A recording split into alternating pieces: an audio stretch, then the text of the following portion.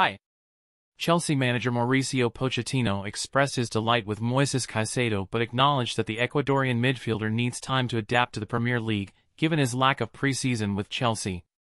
Pochettino praised Caicedo's recent performance against Fulham and emphasized the challenges of adapting to a new club. He expressed regret that Caicedo has international duties during the break but aims to support his adaptation upon his return. Despite being the Premier League's most expensive signing, Caicedo is gradually finding his place in Chelsea's midfield alongside Enzo Fernandez, offering promise for the future. Thanks for watching, subscribe to my channel, bye.